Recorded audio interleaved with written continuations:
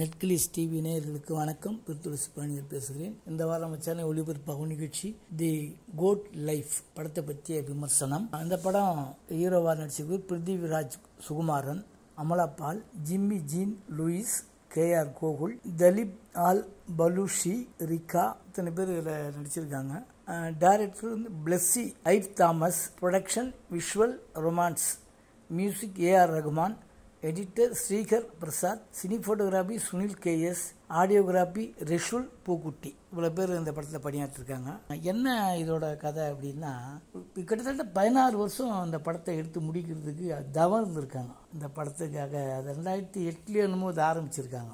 ஆரம்பித்து அப்போ தான் பூஜை போட்டு ஒரு சின்ன படம் மாதிரி தான் ஆரம்பத்தில் தொடங்கியிருக்காங்க. அதுக்கப்புறம் இதுக்கு யார் மியூசிக் பண்ணால் நல்லாயிருக்கும் எல்லா பார்வைக்கு ரீச் ஆகிற மாதிரி யாருன்னு பார்த்தா அது ஏஆர் ரஹ்மான் தான் கரெக்டாக இருக்கும்னு. ஏஆர் ரஹ்மான் வந்து பார்த்துக்கணும் ஏஆர் ரஹ்மான் ஒத்துக்கிட்டார். நான் அதோட தரமான அந்த கதையை கண்டென்ட் ஏன்னா ட்ரூ ஸ்டோரி உண்மையிலேயே நஜீப் ஒருத்தர் இருந்தார்.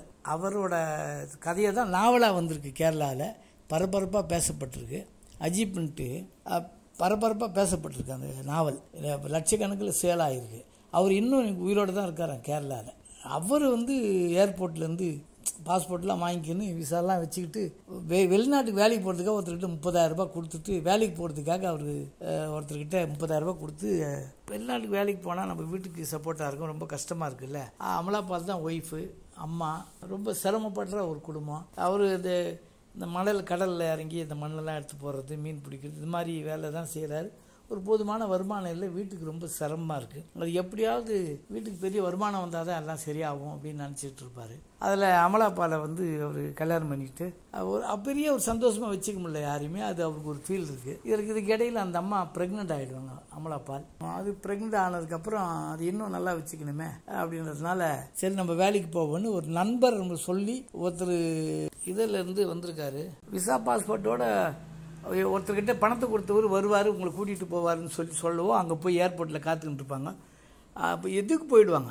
பாம்பேக்கு போயிட்டு அங்கேருந்து சவுதிக்கு போகிறதுக்காக வெயிட் பண்ணிட்டு இருப்பாங்க. அந்த இவங்கெல்லாம் வந்து தன்னுடைய வாழ்க்கைக்கு அதான் குடும்பத்தை காப்பாற்றுறதுக்காக அரபு நாட்டுக்காக போகிறார் அவர். அரபு நாட்டில் கூட இவர் போய் அந்த ஏர்போர்ட்டில் வெயிட் பண்ணும்போது திடீர்னு ஒருத்தர் வந்து தேடி பிடிச்சி இவர் கூட்டிகிட்டு போகிறார் கூட்டிகிட்டு போகும்போது அங்கே ஒரு ஒரு ஆஃபீஸில் தான் ஒர்க்கு உங்களுக்கு ஏசி ரூம் இருக்குது அது இருக்குன்னு சொல்லி ஏமாற்றிட்டுன்னு போய் கடைசியில் ஆடு மேய்க்கிற பகுதியில் வெறும் பாலைவனம் மணல் மேடு அதில் ஆடுங்களை மேய்க்கிறதுக்கும் ஒட்டகத்தை மேய்க்கிறதுக்கும் தான் கொண்டு போய் இவர் வேலையில் அடைக்கிறாங்க. படுக்க இடம் கூட தர மாட்டுறாங்க பிருத்திவி ராஜ்குமாருக்கு.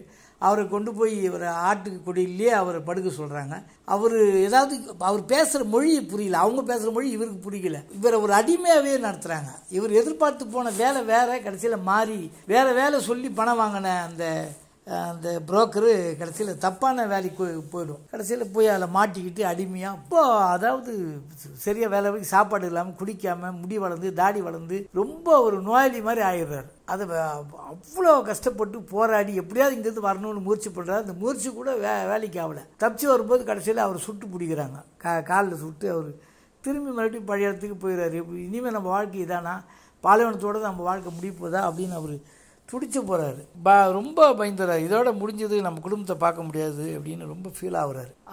இவர் கூட ஒரு பையன் வருவான். அவனை பிரிச்சிருவாங்க. ரெண்டு பேரும் ஒன்றா தான் ஒரே இடத்துல வேலை செய்கிற மாதிரி தான் பணம் வாங்கியிருப்பாங்க புரோக்கர் ஆனால் கடைசியில் பார்த்தாக்கா அந்த பையனை வேறு இடத்துக்கு கூட்டு முடியாது ஒரு தனியாக அடிச்சிருவாங்க. ரெண்டு பேருமே ரொம்ப ஃபீல் ஆகி இடிஞ்சு போய் அடிமையாக ஆடுங்களை மிச்சிக்கிட்டு ஒட்டகத்தை மிச்சிக்கிட்டு சாப்பாடு கூட இல்லாமல் போட்டுக்கு நல்ல துணிமணி இல்லாமல் படுக்க இடம் இல்லாமல் ஒரு அடிமையாகவே அவங்க கிடக்குறாங்க. எப்படி தப்பிச்சுக்கிறது எப்படி போகிறதுன்னு தெரியாது. அவ்வளோ அவஸ்தைகளை ரணகலமாக ரொம்ப வேதனைப்பட்டு அந்த காட்சிகள்லாம் அவ்வளோ அற்புதமாக பிருத்திவிராஜுமா நடிச்சிருக்காரு. அவ்வளோ யதார்த்தமாக ரொம்ப சிறப்பாக இருக்குது அங்கே அந்த அரபு நாட்டை சேர்ந்த அந்த முதலாளிங்க அங்கே இருக்கிற வேலைக்காரனுங்க எல்லாமே சேர்ந்து இவர் அப்படி சென்று அதை பண்ணுறாங்க இவரை தப்பிக்க விட மாட்டாங்க அவ்வளோதான் சாகிற வரைக்கும் நீங்கள் தான் இருக்கணும்னு ஏற்கனவே இருந்தவர் சொல்லுவார் என்ன முயற்சி பண்ணாலும் இங்கேருந்து தப்பிக்க போக முடியாது அப்படின்றவாங்க. ரொம்ப பயந்து போயிடுவார். எப்படி தான் நம்ம குடும்பம் ரொம்ப ஒரு ஒரு காட்சியுமே நம்மளை ரொம்ப வேதனைப்படுத்துகிற மாதிரி தான் இருக்குது அவர் படுற வேதனை நம்ம படுற மாதிரி இருக்குது பாலைவனத்தில் நாமளே சிக்கிக்கிட்டு அவசப்படுற மாதிரி இருக்குது அதுக்கு இடையில இடையில அவங்களுடைய காதல் காட்சிகளில் அவர் தன்னுடைய மனைவியோட இருந்த உறவு அவளோட சந்தோஷமாக இருந்த உறவு அது அமலாபாலோட இருந்ததெல்லாம் பிருத்திவிராஜ் நினச்சி பார்க்குற மாதிரி அவளோட அந்த ஆற்றுல நீந்தி ரொம்ப சந்தோஷமாக நீந்தி அவ்வளோ ஹாப்பியாக இருந்தது. வீட்டுக்குள்ளே சந்தோஷமாக இருந்தது. அவளுக்கு அது கல்யாணம் பண்ணிட்டு வந்தது. அவளுக்கு சீமந்தம் கொண்டாடுறது. இப்படி பல விஷயங்களை இடையில புகுத்தி கொஞ்சம் ஓரளவுக்கு படம் ரிலாக்ஸ் ஆகுது. படம் பார்க்குறவங்களுக்கு. இல்லைன்னா ரொம்ப இறுக்கமாகவே இருக்கும். அந்த அளவுக்கு ஒரு ஒரு காட்சியும் அவ்வளோ யதார்த்தமாக டீப்பாக சொல்லிட்டாங்க. ரொம்ப அந்த உண்மையான ஸ்டோரியில் போய் அந்த நஜீம்ன்றவர் போய் அங்கே மாட்டிக்கிட்டு எப்படிலாம் அவசப்பட்ட இப்போ வேதனைப்பட்ட உண்மை ஸ்டோரி அப்படியே சொல்லியிருக்காங்க. அது படம் பார்க்குறவங்களுக்கு ரொம்ப ரொம்ப வேதனையாக இருக்குது ஒளிப்பதிவாளர் ரசூல் குட்டி இந்த சவுண்டு எஃபெக்ட் கொடுக்குறவர். இவர் ஸ்பெஷல் சவுண்டு அது. அதே மாதிரி இந்த இவர் எடிட்ரு கேமராமேன் எல்லாம் கடுமையாக உழைச்சிருக்காங்க யாருமே சாதாரண ஆள் ஸ்ரீகர் பிரசாத் எடிட்டர்லாம் சாதாரண ஆள் பல தேசிய விருதுகளை வாங்கினவர். அதே மாதிரி ரசூல் குட்டி ஆஸ்கார் விருதே வாங்கினவர். நம்ம ஏஆர் ரஹ்மான் அவரு ஆஸ்கார் விருது வாங்கினவர். அவருடைய பின்னணி இசை படத்துக்கு பெரிய படமாக இருக்குது இந்த படத்தோட தூணாக இருக்கிறவங்களே ஒன்று பிருத்திவிராஜ்குமார் ஏஆர் ரஹ்மான். இவங்க ரெண்டு பேர் தான் படத்தை தூக்கி நிறுத்துறாங்க. அப்போ ஒரு அதாவது ஒரு ஒரு பெரிய உலக அளவே ஒரு உலக சினிமா தரத்தில் இந்த படத்தை எடுக்கப்பட்டிருக்கு. அதுக்கு எல்லாமே இவ்வளோ பெரிய பெரிய டெக்னீஷியன் சேர்ந்து உழைச்சி அந்த படத்தை பெருசாக்கியிருக்காங்க. உண்மையிலே இது வந்து பெரிய எதிர்பார்ப்புக்குரிய ஒரு படம். எல்லாருமே தேடிக்கிட்டு எப்போ வரும் எப்போ வரும் காத்திருந்த படம் வந்திருக்கு. இதுதான் கதை. கிட்டத்தட்ட பதினாறு வருஷம் போராடி எடுத்திருக்காங்க. நன்றி வணக்கம். அடுத்த வாரம் வேறு ஒரு திரைப்படத்தோட சந்திக்கிறேன்.